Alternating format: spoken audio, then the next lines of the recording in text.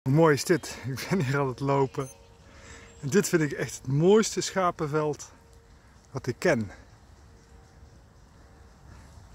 Misschien vind je het zielig, omdat ze weinig ruimte hebben. Maar dat valt eigenlijk wel mee, want erachter is gewoon ruimte. Maar ze willen gewoon graag op elkaar staan. Kijk, die kleine die wilde hier uh, drinken. Super mooi.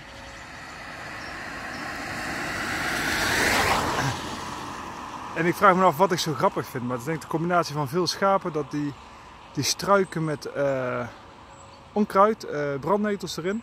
Maar de kleuren van de schapen, dit zijn een beetje rare schapen natuurlijk. Ze zijn net, uh, ik denk net geschoren, maar dan zijn het ook een beetje kleintjes. Het is gewoon raar en daarom mooi. Dus. Maar goed, wat voor dieren kom jij nou tegen? En, we doen het ieder jaar. En nu is weer een welke dieren kom jij tegen video. En dit is echt de mooiste schapenweide die ik in ieder geval ken.